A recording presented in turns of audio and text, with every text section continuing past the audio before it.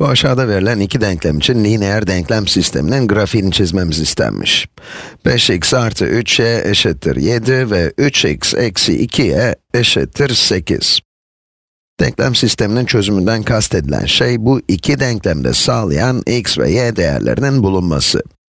Grafiğinin çizilmesi durumunda da öncelikle bu ilk denklemin grafiğini çizeceğiz ve bu grafik ilk denklem için geçerli olan tüm x ve y noktalarını gösterecek. Ve ikinci denklemin grafiği de ikinci denklem için geçerli olan tüm x ve y'leri gösterecek. Yani her ikisini de sağlayan x ve y değerlerine bakacak olursak doğal olarak bu noktanın her iki denklemde de olmasını bekleyeceğiz. Yani bu noktayı her iki denklemde de görmemiz gerek. Bahsettiğimiz nokta da bu iki grafiğin kesişim noktası olacak. Bakalım bunu gösterebilecek miyiz? Öncelikle bu denklemden başlayalım.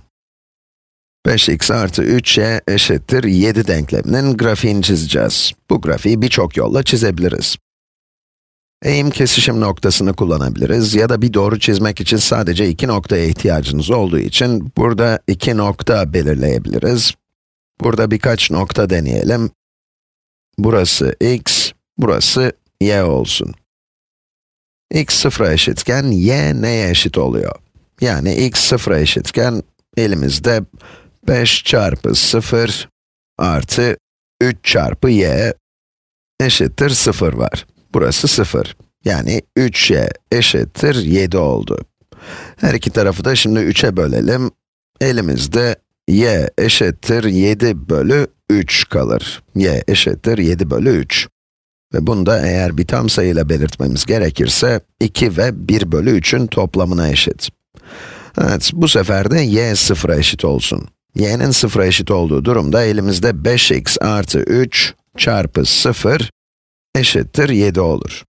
Burası 0 olacak. Yani 5x eşittir 7 olacak. Burada da her iki tarafı 5'e bölersek, x 7 bölü 5'e eşit olacak. x eşittir 7 bölü 5, bu da 7 bölü 5 de 1 ile 2 bölü 5'in toplamına eşit. Evet, o halde bu noktaların grafiğini çizelim. Bu denklemin değerleri daha kolay olduğundan grafiğini çok daha kolay bir şekilde çizebiliriz. Elimizde 0 ve 2 artı 1 bölü 3 var. 0, sonra 2 noktasına, oradan da bir 1 bölü 3 daha çıkacağız. Bu nokta 0'a 7 bölü 3 noktasıdır, bir de 7 bölü 5'e 0 noktamız var. Ya da 1 artı 2 bölü 5'e 1 tam 2 bölü 5'e 0 noktası. 2 bölü 5 yarım değerinden biraz daha küçük bir değer değil mi? 2,5 bölü 5 olsaydı yarım olurdu. 1 artı yani 1 tam 2 bölü 5'e 0 noktası. Noktaları birleştirdikten sonra doğrumuz bu şekilde gözükecek. Evet, kesikli bir çizgi olarak göstereyim.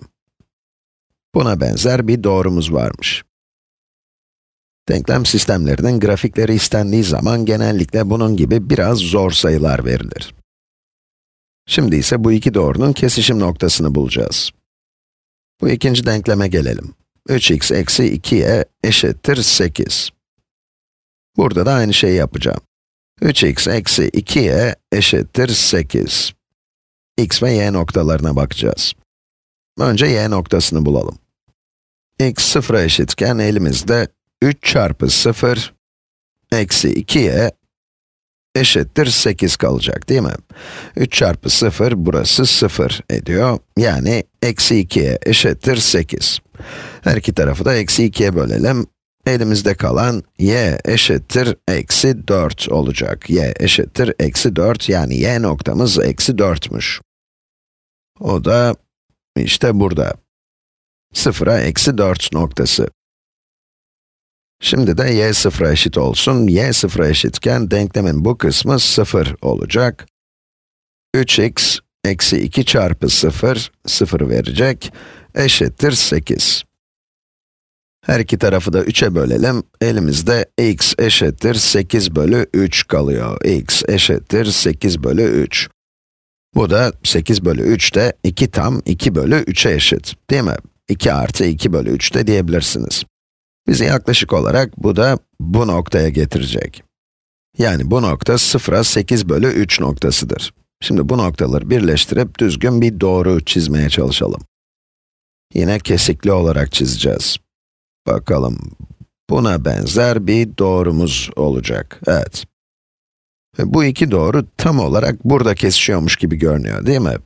Bunun bize net bir cevap oluşturmasını umuyorum, tabi. Burası 2'ye eksi 1 noktası. 2'ye eksi 1. x değeri 2, y değeri ise eksi 1. Ama bunu sadece göz kararı ile bulduk. Çizdiğimiz grafikler elle çizim olduğundan çok doğru, çok kesin değiller. O halde 2'ye eksi 1 noktasının her iki denklemde sağlayıp sağlamadığını bir kontrol edelim. Her iki denklemde de x ve y noktaları yerine konulduğunda denklemlerin çözülmesi gerekiyor. 2'ye eksi 1 noktası için ilk denklemde 5 çarpı 2 artı 3 çarpı eksi 1'in 7'ye eşit olup olmadığına bakacağız, değil mi? 5 çarpı 2 burası 10, eksi 3, yani 10 eksi 3, bu 7'ye eşit değil mi? Evet, 10 eksi 3 eşittir 7. 2 eksi 1 noktası kesinlikle bu doğru üzerinde.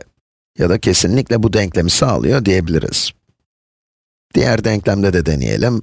2'ye eksi 1'i yerine koyarsak, 3 çarpı 2, eksi 2 çarpı eksi 1. Bu da 8'e eşit mi? 3 çarpı 2, 6, 2 çarpı eksi 1 eşittir eksi 2. Ama burada da negatif işareti var, yani çıkarma yapıyoruz.